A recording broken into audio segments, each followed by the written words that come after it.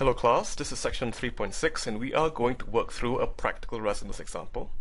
So we have a mechanical oscillating system and the mass is 1, the friction constant is 2, and the spring constant is 26. We also have an external force, and external force is of the form 82 cosine omega t. And we want to calculate the frequency, the external frequency that will cause a practical resonance in the system. So remember that practical resonance is simply where the amplitude is maximized. So this is our amplitude formula. And we want to maximize this quantity. So let's just plug in all our values. So C omega is actually equal. F naught is 82, that's the external force. K is 26. M is 1.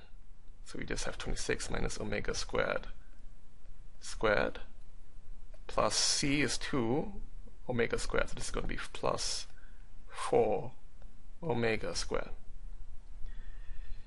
So the way that, now let me just clarify this a bit. We want to maximize a function c of omega. The most direct way to do it would be to take the derivative and set it to 0, and that's indeed the way that the book does it. But I, I don't like that method, and I feel that it's a lot easier to do it this way.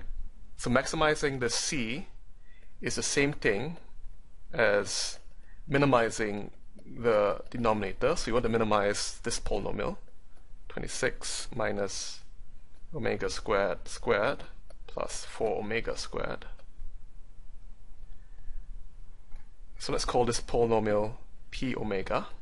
And working, differentiating this is differentiating this polynomial is a lot easier than differentiating c over here. So let's just do that.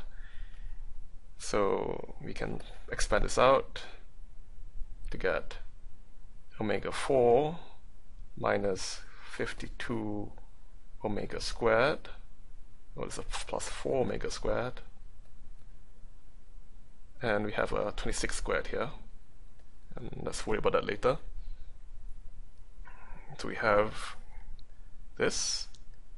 And this is going to be equal to omega 4 minus 48 omega squared plus this 26 squared.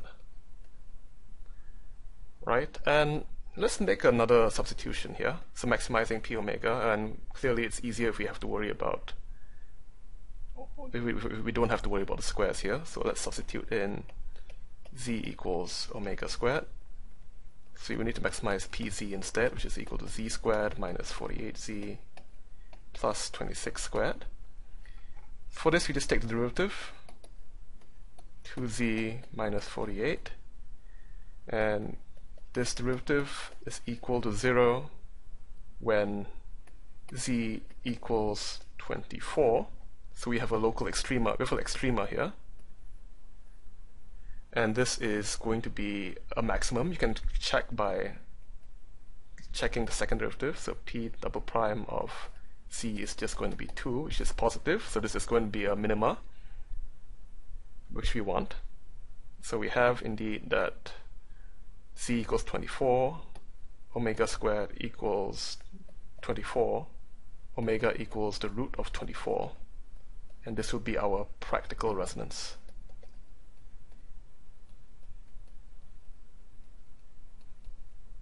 There. And what happens is that this is the omega, which will minimize the denominator and maximize the amplitude.